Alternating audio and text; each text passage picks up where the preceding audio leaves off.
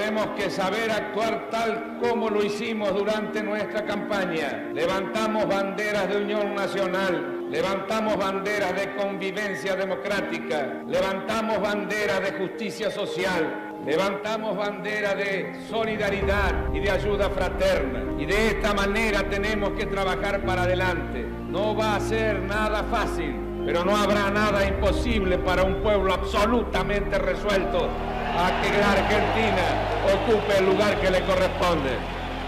Y hoy, empezando el festejo de los 40 años de democracia, rendir homenaje a ese primer presidente que le puso luz a la democracia argentina después de años de oscuridad, a don Raúl Ricardo Alfonsín. Recordarlo, pero sobre todo recordar esa convocatoria que decía, ¿por qué marchamos?